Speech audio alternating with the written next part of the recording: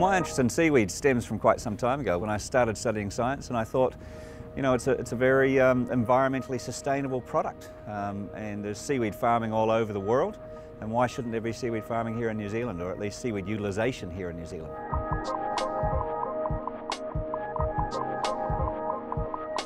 What we have here is a Undaria pinnatifida plant. This part of the plant up here is called the sporophyll. Looks like a little collar right down at the end.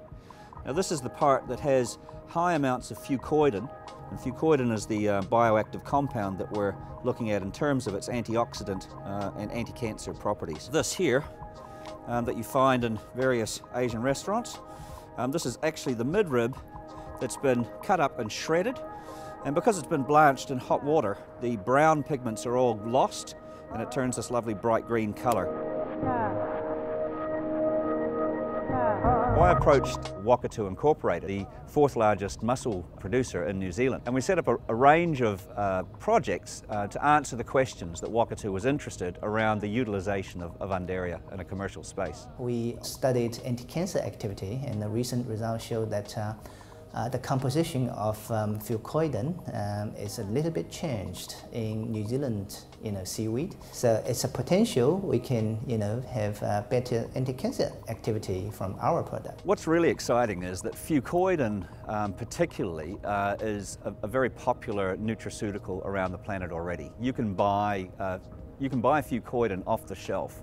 Um, and what we do have here in New Zealand is we have the reputation of clean green waters and, and certainly where this stuff is growing it is very clean. This means that we can potentially um, you know, walk into their market with our Undaria.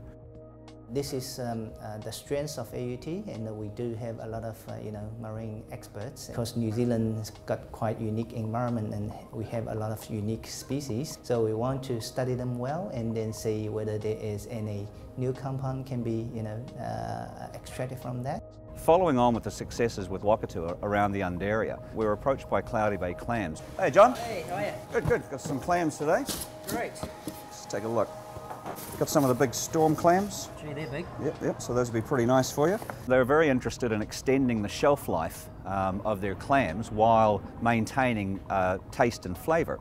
And so that's where we involved our food scientists, um, where we've got a student who's looking at a range of blanching temperatures. So they blanch these clams once they're vacuum packed, uh, just for a short time. They're not totally cooked, um, but it extends the shelf life up to you know 30 to 40 days. We're doing some sensory trials, so we're um, blanching them and keeping them for a number of days or weeks and then having people come into the sensory lab um, and, and taste them.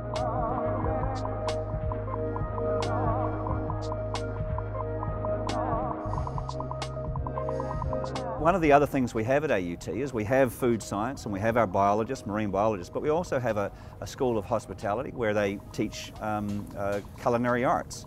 And so we've also involved them in the process and they're developing recipes for the clams and they'll be on our menu at Pico and Four Seasons restaurant. How are they harvested? Um, they've got a um, special hydraulic dredge that um, sort of takes them, liquefies the sand in front of the dredge. And that way they're not damaged at all and they don't have lots of sand packed inside of them. Okay. Better give it a try. I think I'll just use my fingers.